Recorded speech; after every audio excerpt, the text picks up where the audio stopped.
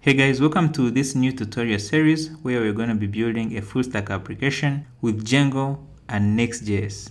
So we're going to be building out a marketing manager application or website that will be powered by a REST API that we'll create using the Django REST framework.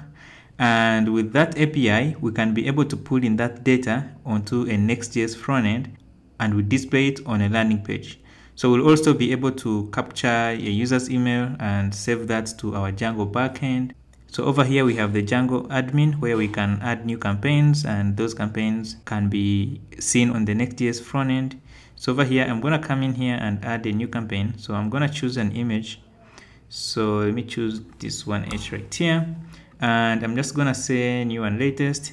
So we'll have a field called slug and also something about the images. These images are going to be uploaded to Cloudinary, which is a media service. So if we want to store images, videos from our application, so Cloudinary provides us with the resources and also they enable us to do different transformations on that media directly from our application. So it's a pretty cool service. So you're going to be seeing how to integrate it with Django and they have a specific Python module that we can use.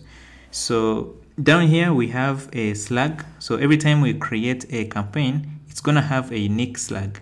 Now you notice that this is basically the title here, but it's separated by the dashes. So we're going to be looking at the Django slug field and how we can create slugs. So notice that the slug has to be created from a title, meaning that the user has to supply a title and then the slug can be created. So over here, I'm going to put a test description. I'm just gonna go to the next Next.js sites and copy some of their marketing stuff. So we also can track page visits and how many successful submissions we got, but we won't be getting much into this. Instead, I will show you how to set up Google Analytics to track which people visit the site after we launch it. So I'm gonna go ahead and save here. So when we save, we can see that a new one was added. And when we click on it, you can see that it got a slug assigned and now on our Next.js frontend, so on our Next.js site, you can see that the campaign was added. And if we come back over here, you can, and you can see that now we have it here and the slug was assigned. So on the Django REST framework, we're going to be seeing how to override the model save method to be able to generate the slug based on the title. And then we are going to build out a REST API that can be consumed from Next.js. You might be wondering why Next.js, why not just build this with the templating with the templates that Django provides.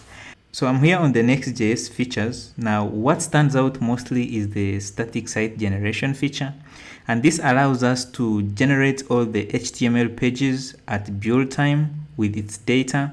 So whenever we deploy and the user is trying to request for the website, the HTML with the data will already be generated and it gives us a fast and a better experience in general. So Next.js is actually a React framework. So you're going to need to know a bit of React to get started here. So if you have any experience building applications using Create React App, whenever you build the application for production, the whole application is bundled into one JavaScript file, and that makes it very terrible for search engine optimization as it is not easy for search engine crawlers to crawl sites that are powered by JavaScript. So Next.js solves that issue up front and yeah, so we're going to be exploring the framework. We will cover most of these features here. So if you're excited about building this application, be sure to subscribe and I'll talk to you in the next video.